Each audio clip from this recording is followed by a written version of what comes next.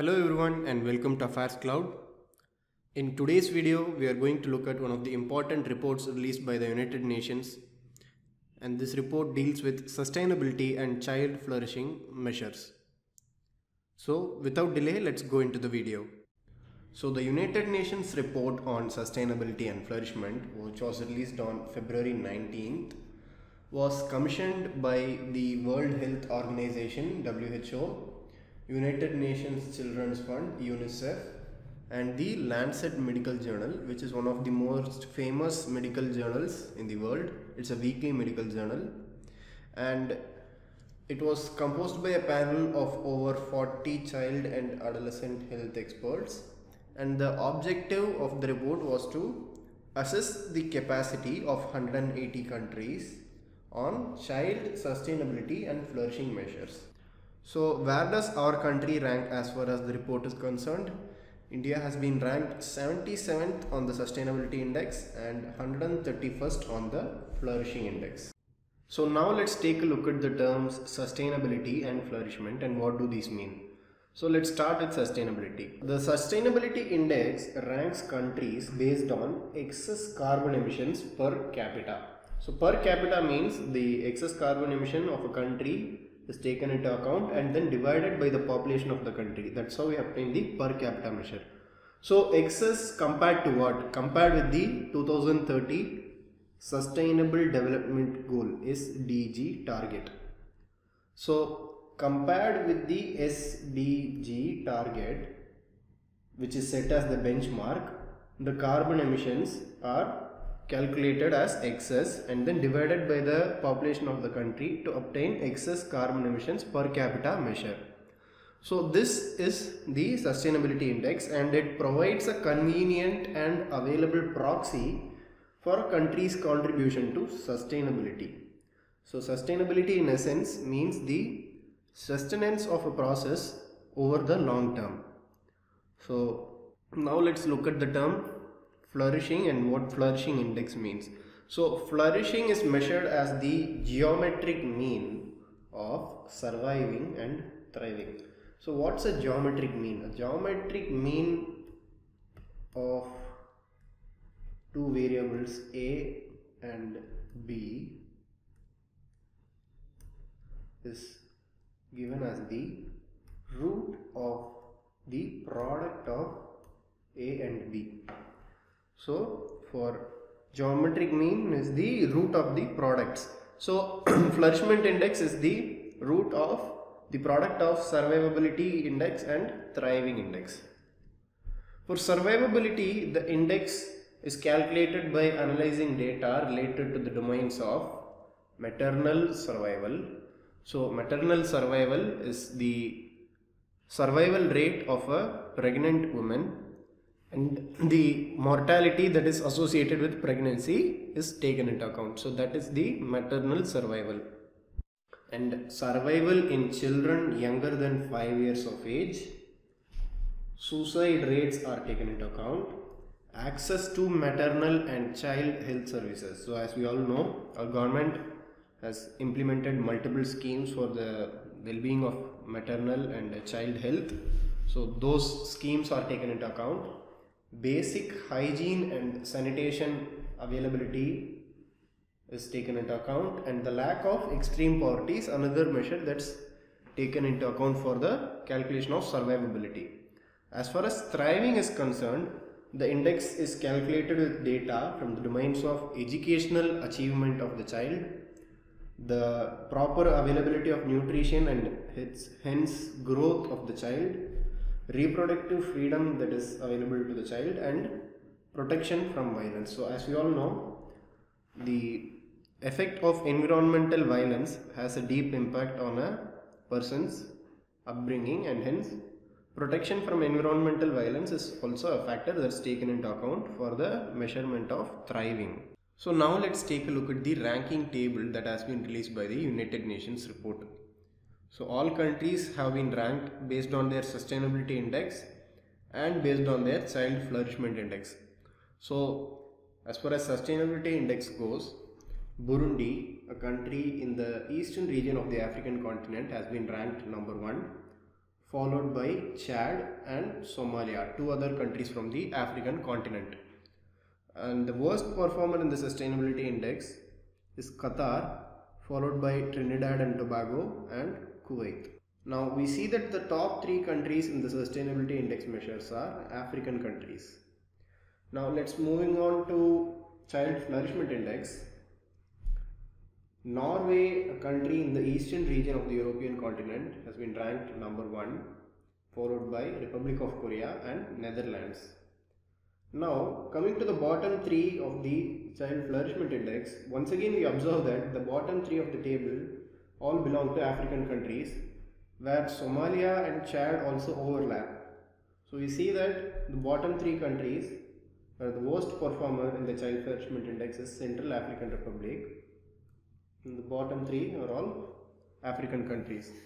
So point to be noted here is that all the African countries in this table that is Burundi, Chad, Somalia and Central African Republic are all under the bracket of LICs that is countries classified as low income countries. Now these countries have among the worst GDP per capita measures. Now this gives us an interesting perspective to work with the economic productivity of a nation and its relation with its sustainability index and child flourishment index. So now let's take a look at some of the remarkable observations from the ranking table. So Norway, Republic of Korea and the Netherlands together emit 210% more carbon dioxide per capita than their 2030 Sustainable Development Goal target. The United States of America Australia and Saudi Arabia are among the 10 worst emitters that is they are in the bottom 10 of the sustainability index ranking table. Now Albania, Armenia, Grenada, Jordan, Moldova, Sri Lanka, Tunisia, Uruguay and Vietnam are reported as the only countries on track to beat both the carbon dioxide emission per capita targets that is the sustainable development goal target set by the United Nations while also performing fairly that is within the top 70 on child flourishing measures. So what is the sustainable development goal of 2030? Let's take a look into it. So under realistic assumptions, models predict that global carbon emissions need to be reduced from 39.7 gigatons to 22.8 gigatons per year so that by 2030 we have at least a 66% chance of keeping global warming below 1.5 degrees. So what this means in essence is that the sustainable development goal of 2030 is to keep the average global temperature rise to a maximum of 1.5 degrees but preferably less than that that is to keep it less than or equal to 1.5 degree Celsius the average global temperature increase. For that emissions have to be reduced from 39.7 gigatons per year that we are emitting currently to at least 22.8 gigatons that is a reduction of around 42% in annual emissions so that we have a 66% chance of keeping the global temperature rise at least below 1.5 degrees Celsius. So this is the sustainable development goal of 2030. Now let's take a look at one of the remarks that has been given in the report. The report highlights the distinct threat posed to children from harmful marketing. Youth exposure to vaping, that is electronic cigarettes, advertisements, the advertisement of electronic cigarettes and children's exposure to commercial marketing of junk food and sugary beverages is a cause of concern.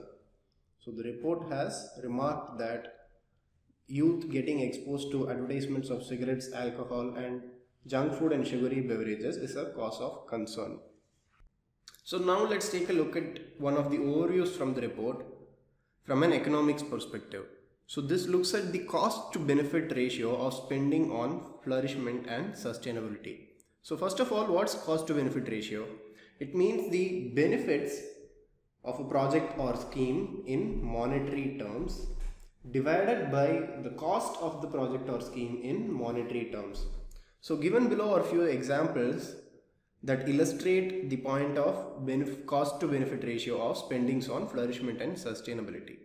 So first example gives us that scaling up integrated maternal, newborn and child health packages to 90% coverage in 75 countries in which more than 95% of the world's maternal and child deaths occur could avert 8 lakh 49,000 stillbirths 14 lakh 98,000 neonatal deaths and 15 lakh 15,000 additional child deaths.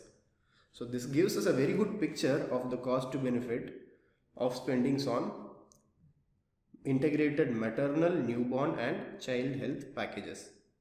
So moving on, the next example gives us that the cost of inaction for not improving child development through universal preschool and home visits and the cost of not spending for the reduction of childhood stunting could reach more than 10% of the gross domestic product of a nation. So what this means is that if government decides to not spend for reducing stunting and for universal preschool and home visits, it could cost a nation more than 10% of its GDP.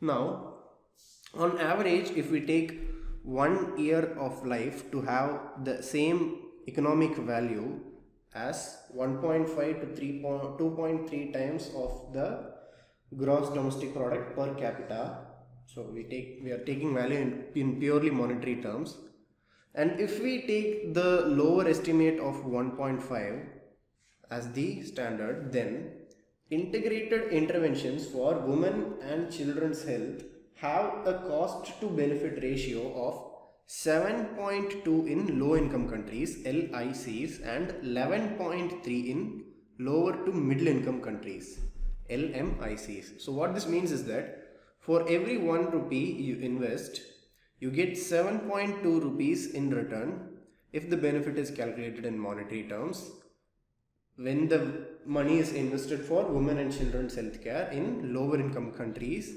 and you get 11.3 rupees in return when the money is invested in lower middle income countries. Now as far as spending on education is concerned, it is observed that for each $1 invested in education, additional $5.2 worth of benefits is obtained through increased earnings in lower income countries and $2.5 worth of benefits is obtained in LMICs, lower middle income countries. Now, if we also aim to incorporate the monetary value of reductions in mortality, means that each $1 invested in education will generate an additional $9.9 of benefits in lower income countries and $3.7 of benefits in LMICs, lower middle income countries. Now, these benefits could be an underestimate since access to quality education shows benefits on mental health, sexual and reproductive health, reduced risk of non-communicable diseases and reduced risk of alcoholism and drug abuse. So if we incorporate the monetary value of reduction in these measures, then the benefits could even be an underestimate. Now, health interventions to prevent or treat infectious diseases can have a positive effect on learning and in turn generate long-term economic benefits in the form of higher earnings. So what this means is that health interventions to prevent or treat infectious disease will have a positive effect on learning. So spendings on health has a co direct correlation to improved learning outcomes and this in turn will generate longer long-term economic benefits. So if we see spendings on health have a direct relation to better outcomes in learning and this in turn will have better long-term effects on economic benefits. So in this way spending on flourishment gives back its benefit in multiple ways. Now let's take a look at the points given in the report with respect to India. So in an observational study, it was observed that respondents from villages with a self-help group in India had 19% higher odds of mothers delivering in an institution, 8% higher odds of an increase in colostrum feeding, Now colostrum is the first milk that is produced by a lactating mother which is very essential for the immunity and well-being of a child and 19% higher odds of using family planning products and services. So this was observed in the study. Now large scale cluster trials of community participatory learning which is a learning method where the community members are also involved in the learning process and their experiences are also taken into account and Action Women's Group in Nepal, Bangladesh, India and Malawi reported a 30% reduction in newborn mortality. It was also observed that in the subsequent studies of participatory learning, India had showed a 31% reduction in newborn mortality. So it was sustained. So now let's take a look at some of the recommendations of the report. The report published by the United Nations strongly recommends stopping carbon dioxide emissions with the utmost urgency. Also, the report is highly critical of austerity cuts and is against the neoliberal policy and encourages increased investments and spendings towards child flourishment. Also, it encourages and recommends new policies and investments in all sectors to work towards child health and rights.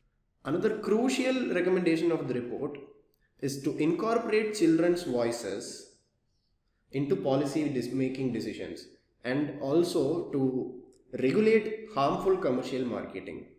Now, as we had already noted, commercial marketing of substances such as alcohol, tobacco, and sugary beverages has led to increased health issues in adolescents and children. And the report published by the United Nations heavily criticizes such marketing and also encourages or suggests tightening national regulation of harmful commercial marketing. So these are the recommendations of the report. So that's all for today's video. Hope you liked our video. Please leave your feedback in the form of comments and please remember to subscribe to our channel. See you in the next video. Bye.